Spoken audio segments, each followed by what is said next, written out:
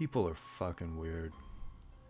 For some reason, referring to individuals on the left hand path who have an eclectic array of influences as sinisterists angers some people. I wonder why. When I came up with the term, I was in no way trying to codify a new religion or even a new tradition. Nor am I putting down the established left hand path traditions, not at all. It's simply a term for those who don't fit within a specific paradigm but are on the left hand path. Let me give you an example. Let's say you're not really a Satanist or a Luciferian or a dark pagan or practice a form of the path based on Hermeticism or traditions from the Far East. But you might take a little bit from all of them or most of them to create your own method. If you do, then I'd call you a sinisterist. And to clarify, the word sinister comes from the Latin word sinistra, meaning left, hence sinisterists for those on the left hand path.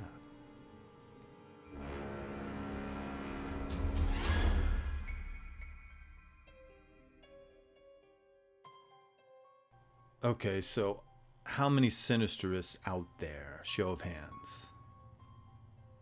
Ah, a, a few. Okay, good.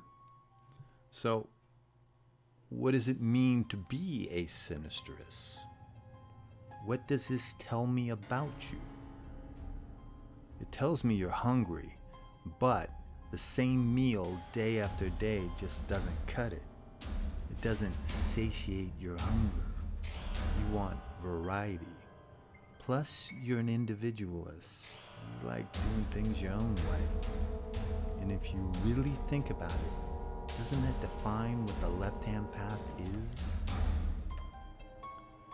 So, if, if you fit this description and you don't want to call yourself a sinisterist, fine, then don't. But if you do, you have the distinction of being one of the first to say so. To say, I am a sinisterist.